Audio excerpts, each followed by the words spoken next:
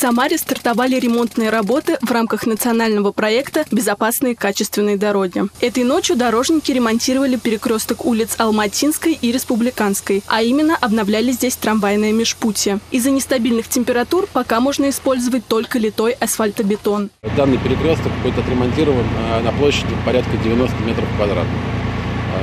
Позже, уже с наступлением положительных температур, уже ну, полноценно положительных, то есть когда и ночью, и днем будет э, атмосферный воздух прогреется до плюс 10 градусов, уже непосредственно начнется ремонт асфальтобетонными горячими смесями.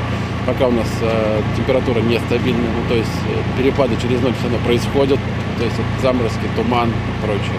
Э, выполняется работа с литой смесью, потому что данный вид смеси предназначен для таких условий. Работа производится в несколько этапов. Разборка существующего изношенного покрытия, подготовка основания и его выравнивание с помощью асфальтобетонного гранулята. Далее укладка литой смеси ЛА-11ВТ. Специалисты заверяют, такое покрытие прочное. Оно способно выдерживать повышенные эксплуатационные нагрузки, в том числе при вибрации во время движения трамваев. Все это характерно для улицы Алматинской, где дорожный трафик интенсивный. Таким способом дорожники планируют отремонтировать перекрестки от улицы Республиканской до Олимпийской. На данном участке приведут в нормативное состояние межрельсовое полотно в районе шести перекрестков. Работы специально производятся преимущественно в ночное время. Безопасность прежде всего, а, соблюдение мер техники безопасности, с выставлением знаков, а, ограждений.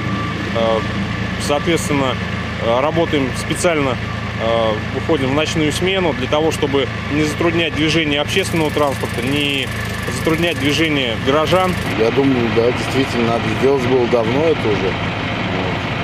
Как бы неплохо, работают по ночам, не мешают проезду, делают перекрестки. Одни ямы были, фактически переехать было очень сложно сейчас лучше будет, надеюсь. Весь процесс ремонта контролируют сотрудники МБУ «Дорожное хозяйство». Они следят за подготовительными работами, устройством нового покрытия, замеряют температуру литой смеси, отбирают ее для дальнейших испытаний в лабораторных условиях. Приемки подлежат работы, выполненные с требуемым качеством. В противном случае подрядчик будет устранять недочеты за счет собственных средств. Планах отремонтировать все перекрестки на Алматинской за 10 дней. Потом дорожники приступят к выполнению работ на улице Нововокзальной. Всего в 2024 году по дорожному нацпроекту обновят 21 объект с совокупной протяженностью более 26 километров. Из них на 18 объектах произведут ремонт большими картами по всей ширине проезжей части дорог. Еще три объекта улично-дорожной сети благодаря работам в рамках нацпроекта преобразятся комплексно. Полина Чулюкова, Николай Сидоров. События.